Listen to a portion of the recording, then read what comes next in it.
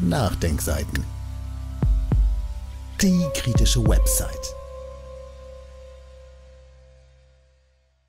Neue Normalität. Wer Regierungshandeln hinterfragt, wird nicht mehr wegdiskutiert, sondern wegdifamiert. Ein Interview von Markus Klöckner mit Uli Massoud. Staats- und Regierungskritik scheinen in Trier nicht erwünscht. Und sogenannte Querdenker wohl schon gar nicht. Das Vorgehen des Kulturdezernenten der Stadt, Markus Nöhl, lässt tief blicken. Der Kabarettist Uli Massoud und der Liedermacher Jens Fischer-Rodrian sollten von einem Friedensfestival ausgeladen werden. Doch die Veranstalterin Joja Ghosh gab nicht nach. Die Nachdenkseiten haben in einem verlinkten Beitrag darüber berichtet. Nun wird am 2. Dezember Uli Massoud in Trier auftreten. Im Interview mit den Nachdenkseiten spricht der Kabarettist über das Verhalten der Stadt Trier und seine Erfahrungen mit der Cancel Culture. Bereits im vergangenen Jahr habe ihn die Trierer Kulturfabrik ausgeladen. Auch zur Streichung der Gelder für die Auftritte von ihm und Fischer Rodrian äußert er sich. Pro Veranstaltung zahle Trier 75 Euro. Für ein Festival wo es um Frieden, Freiheit und Freude geht, sei das beschämend, so Massoud. Herr Massoud, Ihr Auftritt beim Friedensfestival steht bevor. Anfang Dezember werden Sie in Trier auf der Bühne stehen. Was sind Ihre Gedanken nach dem Verhalten von Markus Nöhl? Von wem? Markus Nöhl. Kenne ich nicht. Das ist Triers Kulturdezernent. Der Mann war mitverantwortlich dafür, dass man sie ausladen wollte. Ah, richtig. Meine Gedanken zu diesem Verhalten? Tja, solche Leute gibt's. Das sind Vertreter einer neuen Kultur namens Cancel Culture. Die sollten sich aber nicht Dezernenten für Kultur schimpfen, sondern Dezernenten für Unkultur. Ich versuche, solche Leute in Anführungszeichen rechts liegen zu lassen. Herr Masud, gehen wir einen Schritt zurück. Wann haben Sie davon erfahren, dass eine Ausladung von Ihnen und dem Liedermacher Jens Fischer-Rodrian der Veranstalterin nahegelegt wurde? Das war Mitte Oktober, durch einen Anruf von Joja Gosch, der Veranstalterin. Wie sind Sie damit umgegangen? Mal davon abgesehen, dass eine solche Nachricht nicht unbedingt dazu führt, Korken knallen zu lassen, stürzt sie mich aber auch nicht in eine Depression, weil es heute ja fast schon zum guten Ton gehört, kritische Künstler auszuladen so auch in Trier, wo ich diese Erfahrung übrigens auch schon letztes Jahr gemacht habe. Da wurde mein Auftritt in der dortigen Kulturfabrik Tufa, wo ich in den Jahren vor Corona schon mehrmals erfolgreich aufgetreten bin, abgesagt. Wer Regierungshandeln kritisiert oder auch nur vorsichtig hinterfragt, der wird seit über drei Jahren nicht mehr wegdiskutiert, sondern wegdiffamiert. Und zwar im Brustton vermeintlich moralischer Überlegenheit. Ob hier ein Zitat von Marshall McLuhan zutrifft, weiß ich nicht. Das Zitat lautet jedenfalls so. Moralische Empörung ist die Strategie von Idioten, sich selbst Würde zu verleihen. Noch einmal für die Leser erklärt, was waren die Vorwürfe? Die Vorwürfe sind eigentlich immer die gleichen und lassen sich auf einen Satz runterbrechen. Uli Masud ist Querdenker. Und das stimmt. Ich bin kein Längsdenker, sondern Querdenker. Ich bin sogar Kreuz- und Querdenker. Und ich war das schon lange bevor dieser Begriff zum Totschlagargument wurde.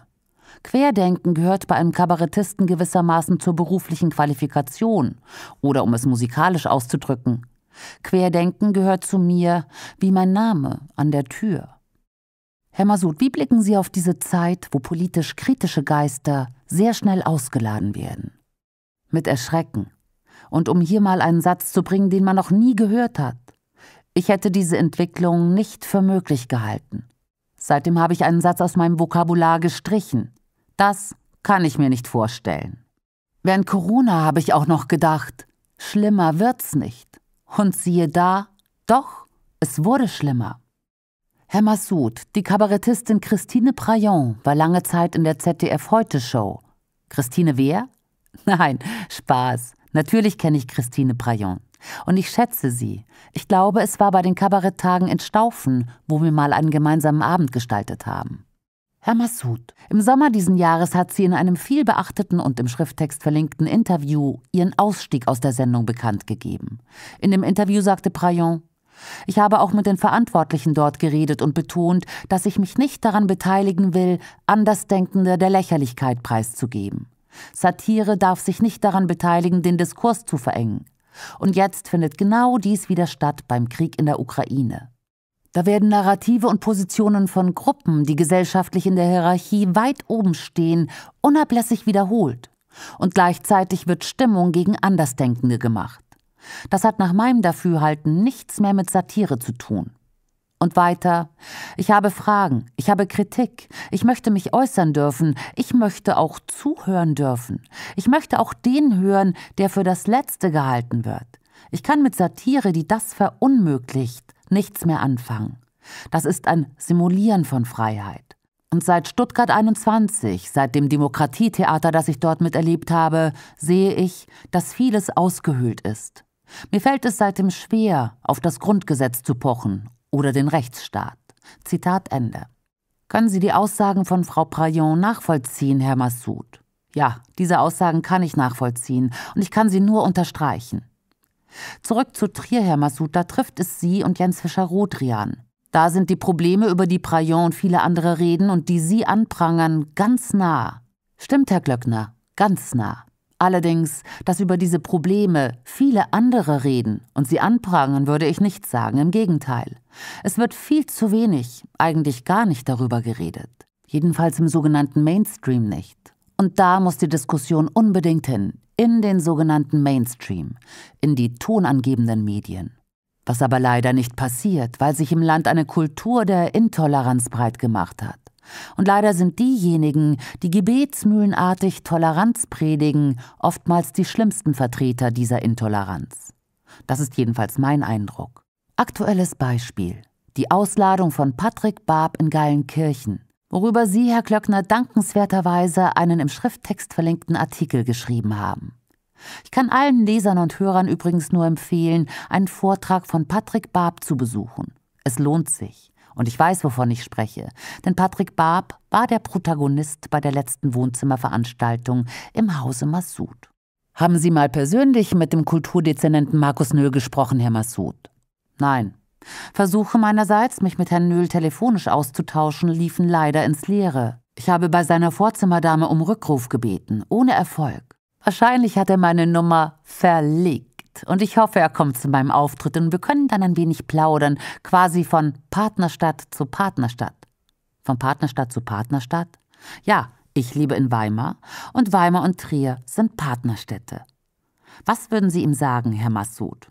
Schön, dass Sie gekommen sind und ich würde ihn fragen, was genau OB Leibe damit meint, wenn er auf der Internetseite schreibt, dass Trier eine Stadt ist, in der Toleranz und Offenheit das Miteinander bestimmen.